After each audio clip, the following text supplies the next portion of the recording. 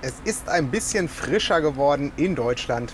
Seit langem mal wieder mit dünner Jacke hier das Video. Ich grüße euch zu einem Wetter extra. Wir schauen natürlich auf die Aussichten und am Donnerstag, da wird uns schon das nächste Tiefdruckgebiet erreichen.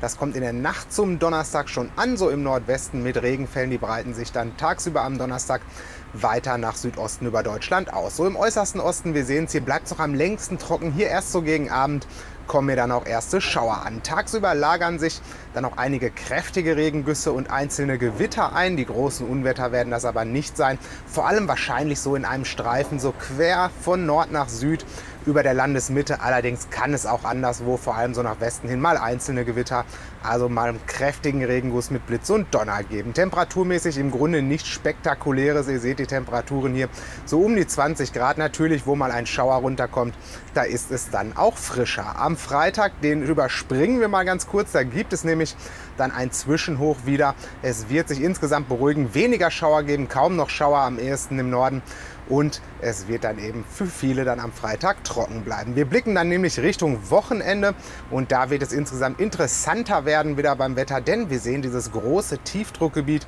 was sich dann auf den Weg nach Deutschland macht. An der Vorderseite dieses Tiefs, da erfolgt dann ein Vorstoß sehr warmer Luft, vielleicht Richtung Sonntag, wir sehen es gleich, sogar nach Südosten hin, ein Vorstoß von heißen Luftmassen. Aber wir sehen auch schon am Samstag hier auf dieser Karte, dass diese Tiefausläufer, also die Ausläufer des Tiefs, dann schon vor allem so den Norden und den großen Nordwesten erfassen werden. Dann wird sich das am Samstag mal eine erste Prognose, die natürlich noch mit Unsicherheiten behaftet ist, so ganz grob so darstellen am Samstag, dass eben so vor allem nach Nordwesten und Norden hin eher der Tiefausläufer mit dichteren Wolken, einigen Schauern und Regen unterwegs ist und es vor allem dann eben im Osten und im Süden Deutschlands dann insgesamt recht freundlich werden wird. Auch ein paar dichtere hohe Wolkenfelder wahrscheinlich, aber hier wird es dann auch schon sommerlich warm werden mit Temperaturen so teilweise um die 27 Grad. Richtung Sonntag, da wird es dann doch ziemlich unsicher und deswegen habe ich mal zwei verschiedene Wettermodelle vorbereitet.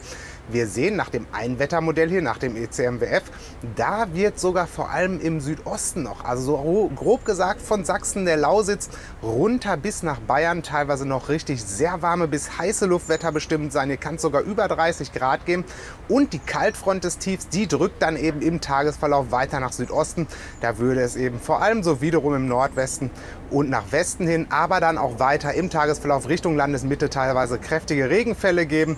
Und im Vorfeld dieser Kaltfront, da könnten sich dann spät Nachmittag, abends Gewitter bilden. Nach dem anderen Wettermodell, da würde diese heiße Luftmasse schon etwas weiter nach Südosten abgedrängt werden, also nur noch so im äußersten Südosten. Und natürlich ist es auch möglich, dass das Ganze sogar schon raus nach Tschechien, Polen und nach Österreich gedrängt wird. Also wir sehen einfach im Großen und Ganzen, es ist noch Spielraum drin, wie schnell die Kaltfront sozusagen nach Südosten vorankommt. Also vor allem hat der Süden und der Osten dann nochmal Chancen am Wochenende auf stabileres Sommerwetter mit einzelnen Gewittern dann nur, während aber doch die Chancen, je weiter man nach Nordwesten kommt. Grüße auch an die Nordseeurlauber dabei, die schon viel Regen hatten in den vergangenen Tagen. Also da sind die Chancen doch sehr gering, dass es überhaupt hier dann stabileres Wetter gibt. Hier wird es eher unbeständig bleiben. Das Tief ist einfach zu nah. Wir sehen das ganz gut zum Schluss noch auf einem 10-Tage-Trend. Hier für Dresden mit der Chance auf 30 Grad. Dann am Sonntag allerdings, wir sehen, die Spanne ist sehr groß. Es gibt auch Modelle, die eben hier in Dresden schon die Kaltfront haben. Ihr könnt das vergleichen. Das wird sich anpassen noch in den nächsten Tagen für euren Ort im 10-Tage-Trend. Den Link stelle ich euch hier oben rein. Ich wünsche euch erstmal noch eine gute Restwoche. Ich bin erst mal ein paar Tage weg, so etwa zehn Tage. Ich komme erst übernächste Woche wieder. Ich wünsche euch dann schon mal ein gutes Wochenende, eine gute nächste Woche. Die Kollegen halten euch natürlich auf dem Laufenden hier auf dem YouTube-Kanal. Bis dann und ciao.